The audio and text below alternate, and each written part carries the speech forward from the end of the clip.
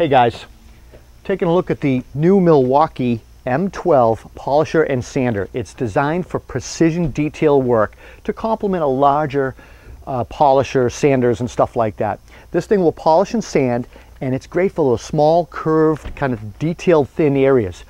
No compressor and no hose with this. This brings cordless to the shop. It gives you other innovations and, and basically solutions by giving you the cordless uh, ability. The thing I like about this is it has two modes. Mode number one is for polishing. It's 0 to 2800 RPMs. Mode number two is 0 to 8300 RPMs. Super compact and light, 1.6 pounds and 5 and a quarter or 5 and an 8 inches long. And like I said, small and get into those nooks and crannies.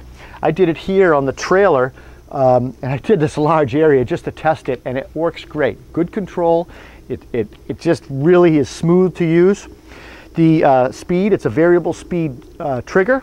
Two batteries that comes with the kit, one of the compact sizes, as well as the bigger XC size um, extended battery that, that, Milwaukee offers for the M12. Uh, this little guy here now complements over 60 cordless lithium ion tools in the Milwaukee M12 platform. And you know, they continue to bring innovation to the trades. This particular tool is going to save time. In fact, Milwaukee says that one charged battery will do an entire vehicle's trim, one pass around. And that's pretty impressive. That gives you solutions away from the compressor as well as uh, it just, you don't have to drag the hose behind you. I'm Rob Robillard. We'll see you next time. Take care.